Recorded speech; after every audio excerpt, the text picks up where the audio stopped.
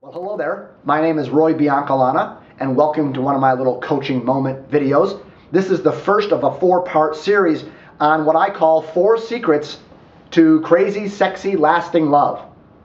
And in this first secret, I'll give you just a little snippet of it, and it's something that I call emotional intelligence.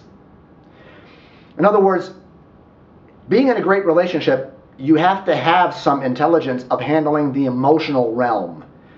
And what I find in people's lives is that there are things that go unfelt, feelings that go unfelt.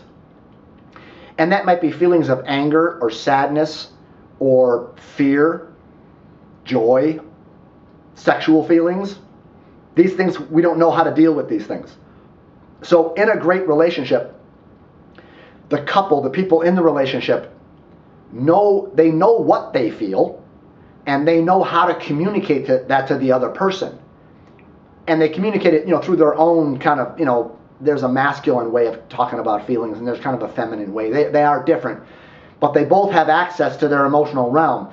And so there's an actual skill to make a great relationship work and work long term people need to be skilled. Like in any sport, there's certain skill sets that, that make you successful. Like I was a professional golfer. There's a certain skill set to be really good at golf or baseball or whatever, even in business, there's a skill set. Same in relationships. And most people need to improve upon the skill set and learn to not have feelings go unfelt, but to know what they are, how to share them in an appropriate way.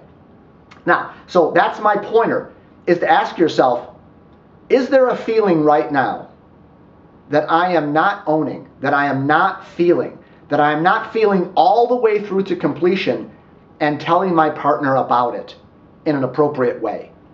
And if the answer to that is yes, you're not going to be having a really good, solid relationship because something's being held back, something's not being processed. Because when you don't feel feelings, they, they get trapped in there and they come out at at some of the wrong times and they sabotage intimacy and so forth. Okay? So, if you want to learn more about that and become more emotionally intelligent, I've created an e course on my website, coachingwithroy.com. It's an e course called Four Secrets to Crazy, Sexy, Lasting Love. And I go into depth on all those things and give you pointers on how to become more emotionally intelligent. So I strongly recommend you go to my website Take a look at that e-course and see if it's perfect for you and or your partner. All right? Until next time, we'll come back with part two. Bye-bye.